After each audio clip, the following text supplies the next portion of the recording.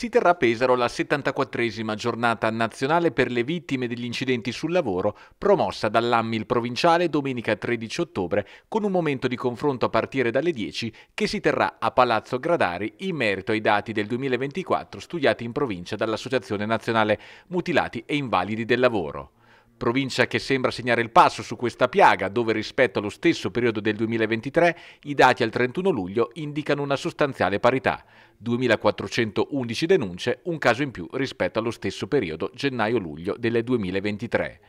A livello regionale gli incidenti sono cresciuti dell'1%. In calo le denunce per infortuni mortali passate nel Pesarese da 4 a 1 e a livello Marche da 15 nel 2023 a 9 casi nei primi 7 mesi del 2024 una controtendenza che non riguarda il quadro nazionale. I primi sette mesi hanno fatto registrare 350.823 denunce, 1,7% in più rispetto allo stesso periodo dell'anno precedente.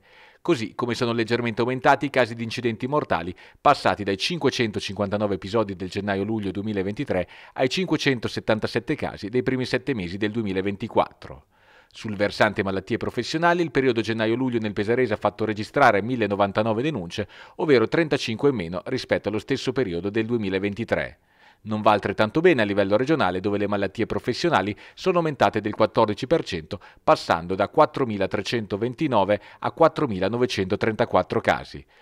Lo stesso dicasi a livello nazionale, dove si è registrata una preoccupante impennata dei casi, passati da 44.433 a 54.471, con un più 22,6%.